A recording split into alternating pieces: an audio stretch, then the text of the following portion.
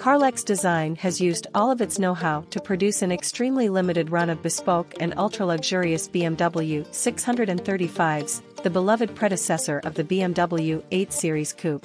Dubbed the BMW 635 CLX by Carlex, the production run is limited to just seven examples.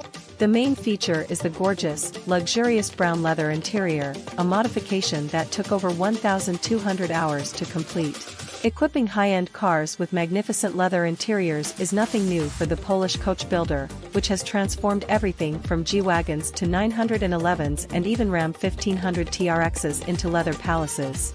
The company usually keeps it modern, but this vintage 6 Series project showcases a new direction for the brand. It's not easy to convince someone to take their precious vintage vehicle and completely modify it, but this is basically a work of art.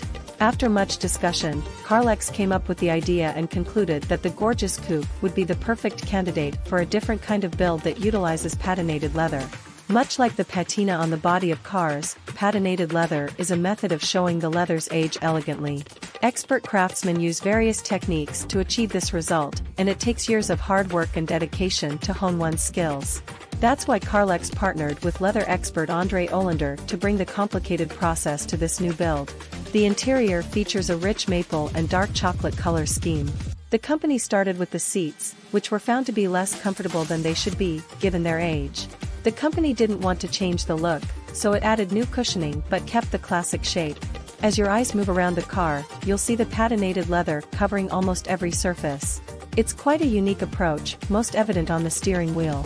Carlex borrowed the idea of cross-stitching and perforations from the handbag and footwear industries.